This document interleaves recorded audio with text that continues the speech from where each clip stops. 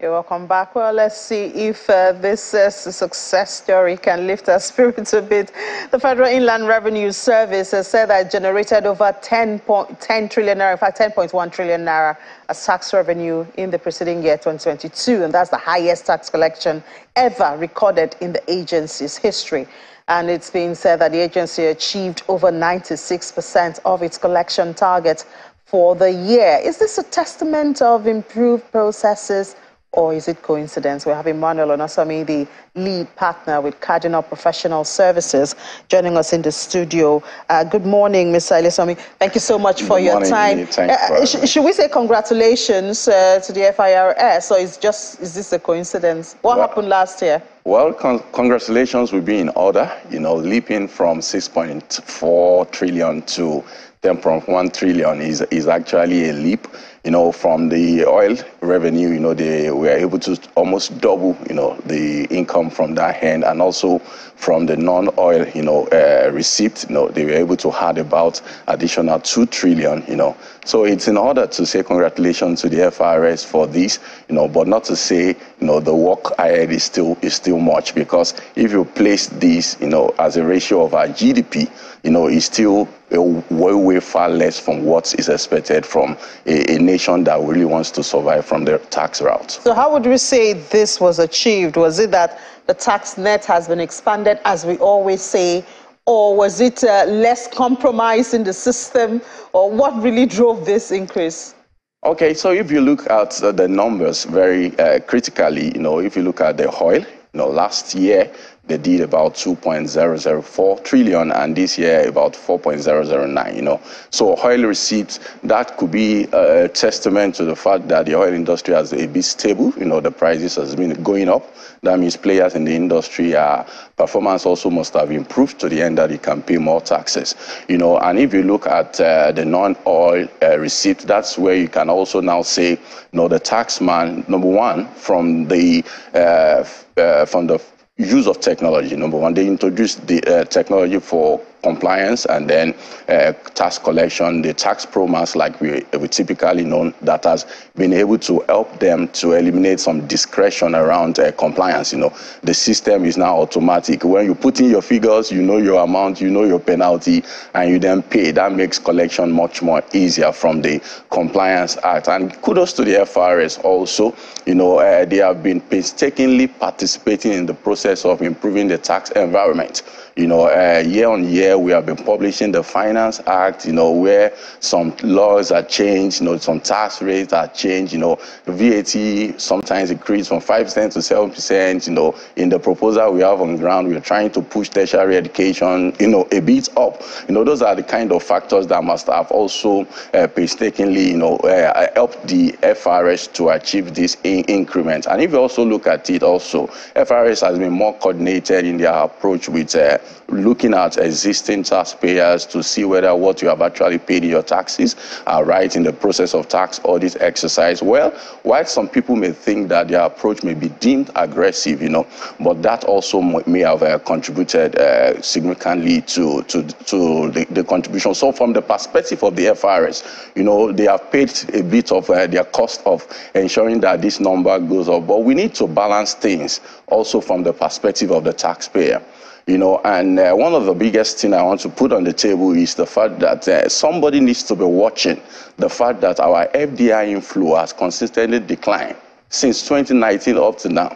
That means that, uh, you know, there must be something that the government needs to pay attention to because the tax climate is the biggest contributor to your uh, FDI inflow in your country. And what we have seen from experience, you know, when uh, the taxpayers keep, uh, the tax authority keeps going back to the existing taxpayer, you know, and uh, there are a lot of data that we have been gathering in this country that shows that we still have a larger percentage of people that are yet in the tax nest. But if you keep frustrating in that sense, in quote, because that is the perception of the taxpayer, you know, you know, you see a situation where the tax law is not clear on the matter, but the FIRS is a bit aggressive, and the body language to the global community is like, oh, the tax environment in Nigeria is unpredictable. Year on year, they keep changing the goalpost.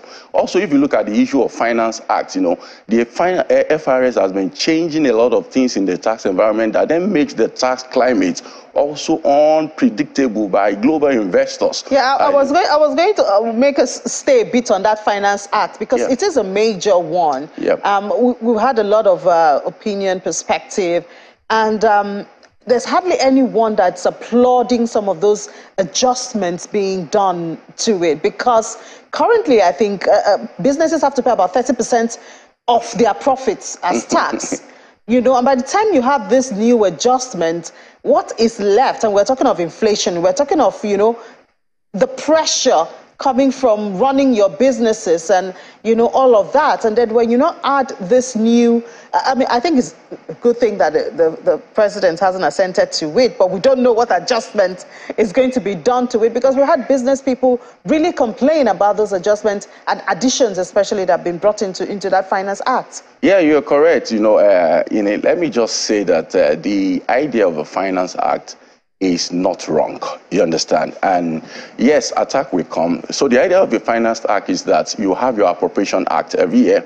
And then tax is a major contributor to your fiscal policy, isn't it? So your Finance Act is expected to look at your Appropriation Act and what you need to adjust within your system, you know, in order to be able to achieve the goal for the year. You understand? But what we've seen in more developed clime is that so that the tax environment can be predictable by investors, you know, you don't on an annual basis change tax rates you don't change, you don't increase, decrease tax rate, but you rather make the process of compliance more efficient and the process of getting more people into the tax net more efficient such that people that are evading tax can now come into the tax net. But what we've seen uh, the behavior we've seen with uh, the Nigerian government, with the use of the finance that kind of predict that anytime the government need additional ca uh, cash, you just go the route of increasing the tax rate, you know, or introducing additional tax, which then makes the environment look like, oh, the government is using the tax finance act as a purpose of just getting more revenue from the existing taxpayer instead of painstakingly putting process in place and ensuring that we widen the tax net and get more people to comply with taxes in. So if we have this 10.1 trillion naira from 2022, uh, what do you see in 2023? And will it reduce the borrowing? Because currently we have 11.04 trillion naira as deficit for the budget. Do you see it decreasing you know, some of those borrowings, especially now that Moody's has downgraded. Yeah, it's it's anybody that becomes the sheriff, that becomes the sheriff, eventually uh, definitely has a very critical job, you know, to do. You know, Moody's just downgraded our uh, our credit rating as a nation. That means the cost of borrowing will go higher if at all you are able to get. you understand? And uh, that means that government has to look inward, inward, and uh, looking inward is not to say you go after those people that have been putting all the effort to comply, just frustrating them. We've seen situations where people are experiencing multiple tax audits at the same time at the expense of doing the business. We have enough data that the next phase of administration in Nigeria, based on my perspective, is that we need to do a bit of data mining and see those people that are not complying with TASTA so that they can start complying, starting from the leadership, starting from the political class. In this election, we've not seen the tax authority ask the politicians about their tax receipts.